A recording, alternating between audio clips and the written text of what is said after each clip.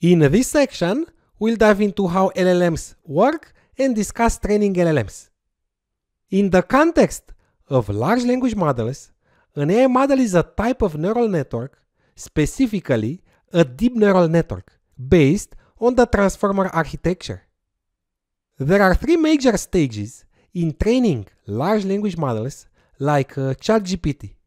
Let's start with the first one, creating the pre-training dataset, which means downloading and processing the internet.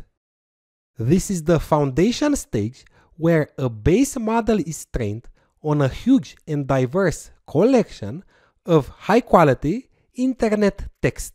The idea is to expose the model to as much useful information as possible so it can learn grammar, facts, reasoning patterns, and more. Now, you might think this involves downloading the entire internet. And uh, you'd be mostly right. But the final dataset used for training is heavily filtered.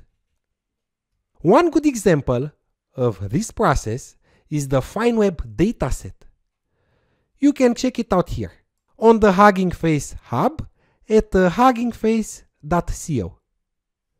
All major companies like OpenAI, Google, and Anthropic use datasets like this to train their models. What's interesting is that even though the internet is massive, the final dataset is only about 44 terabytes and includes around 15 trillion tokens. That might sound huge, but it actually fits on just a few hard drives. So, how do they go from the entire internet to a much smaller, cleaner database? The answer is processing and filtering. Here's how the process works. This is the pre-training data pipeline. The first step is uh, using a data source. Most of the raw data comes from Common Crawl, an organization that's been indexing the web since 2007. As of 2025, it has archived over 250 billion pages by crawling the entire internet regularly. The next step in the pre-training data pipeline is URL filtering. The first step here is removing unwanted websites using blacklists. This includes sites with adult content, spam, malware, shopping, or dating. This helps eliminate low quality or irrelevant material. Web pages are stored as raw HTML, which includes code, navigation bars, and styling. This is the HTML code of this page. The goal here is to extract just the meaningful written content. No HTML or JavaScript code, no menus, just the core text. Then comes language filtering. Language classifiers are used to keep only pages in the target languages. For instance, FineWeb keeps pages that are at least 65% English. This step also allows developers to decide how multilingual the model will be. The next step is deduplicating the data and quality filtering. Duplicate or near duplicate content is removed to avoid repetition. Additional filters target low quality text that could hurt the model's performance. And finally, pages containing personal information like addresses or social security numbers are identified and removed to protect privacy.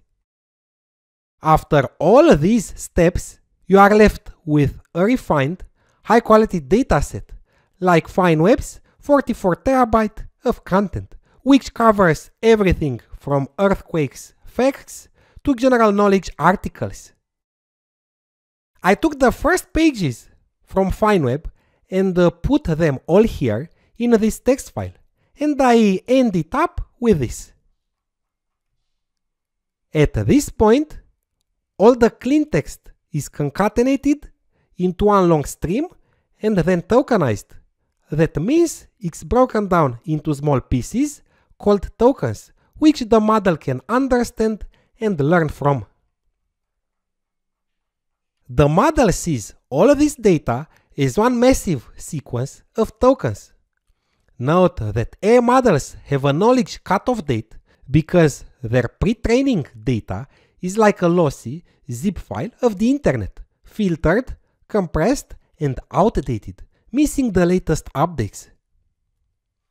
For example, the cutoff date for GPT 4.5 that was released in winter 2025 is June 2024. So, in a nutshell, pre-training begins with transforming raw internet content into a dataset, which is then used in the full pre-training process, including tokenization and neural network training, to enable an LLM's language understanding and generation. Also, keep in mind that the performance of a large language model depends heavily on the quality and size of its pre-training dataset. We are now taking a break and in the next video we'll go over the next step in training a model, the tokenization of the pre-training data.